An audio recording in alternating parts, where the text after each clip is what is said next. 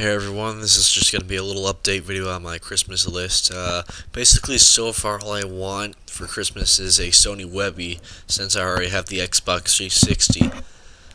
Why specifically a Sony Webbie? Well, one, because I trust the Sony brand, and two, they're great cameras, plus my camera really needs an update. One, because the battery case is cracked, since my friend dropped it on the pure concrete, and two, it eats up batteries like that since the battery case is cracked, and I haven't been able to find any suitable batteries anymore.